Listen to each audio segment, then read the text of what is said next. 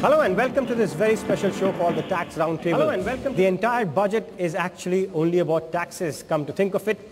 The finance bill, which details almost every aspect of what the government wants to do, we have to look at that in detail. That's where the interesting bits come out.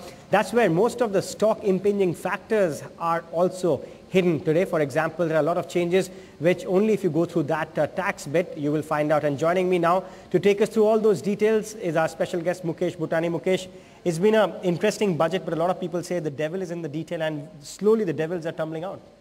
Yes, I think there are a lot of changes uh, that are there. Uh, uh, you know, if I may just, uh, there are a lot of details in the investment allowance being applicable to specified industries.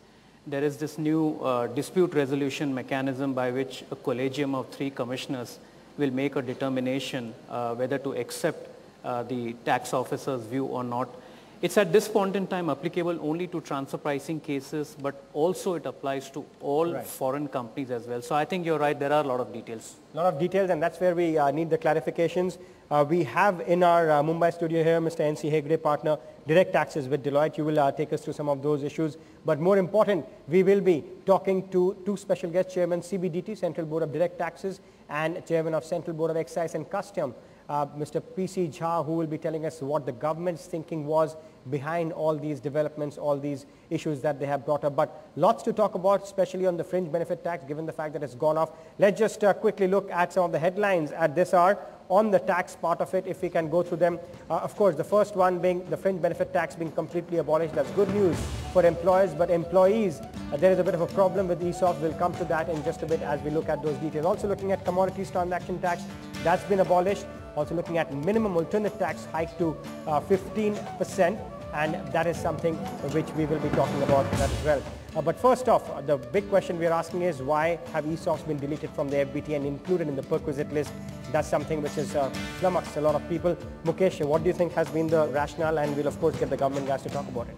Well, I don't know what the rationale is. Uh, to me, it seemed that uh, slowly and steadily the minimum alternate tax, uh, you know, rate is being enhanced. Uh, you know, this is in a way can be viewed as a backdoor entry uh, to tax people, particularly exempt entities. So on one hand, you're giving away uh, tax holidays or extending the tax holidays. On the other hand, you're taking away as, uh, as minimum alternate tax. So it is certainly going to impact the IT companies in the short to medium term. The only thing is that they've extended the, uh, the, the credit from seven years to 10 year period. I'll uh, come on that. Hegde, how do you see this whole thing? Because a lot of people rejoiced when they saw the FBT fringe benefit tax being abolished, but then they realized for ESOPs and sweat equity, that's something which has not really come through. Yeah, uh, I think that the entire removal uh, of the ESOPs from the FBT is a part and parcel of the FBT itself getting removed. So, you know, there was representation from industry, there were representation even from political parties that FBT had caused a lot of, uh, you know, there was a lot of compliance involved in relation to the administrative procedures.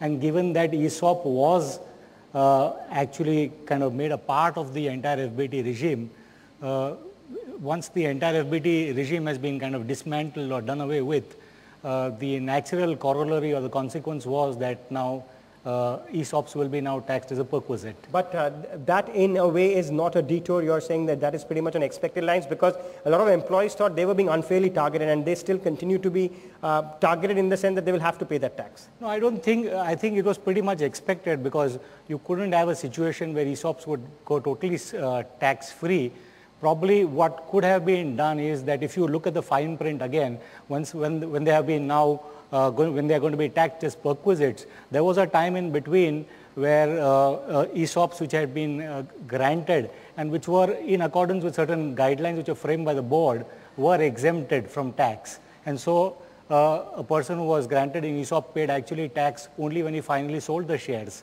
Uh, unfortunately, this time they only restricted the ESOP as, a, I mean, oh, sorry, provided for ESOP to be taxed as a perquisite and have not added the lines providing for the exemption. Right. Uh, so, so I would believe this was on expected lines.